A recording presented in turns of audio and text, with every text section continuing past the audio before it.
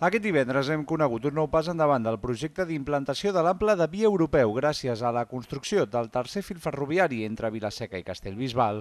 El Consell de Ministres ha autoritzat el Ministeri a Foment a licitar l'adquisició de materials per a l'execució de les obres. El contracte es licitarà per un import de prop de 15 milions d'euros i està dividit en dos trams, Castellbisbal-Martorell i Sant Vicenç de Calders-Vilaseca. Aquesta actuació s'emmarca en les obres d'implementació de l'ample internacional a la xarxa ferroviària convencional existent, en el trajecte entre Castellbisbal i Vilaseca.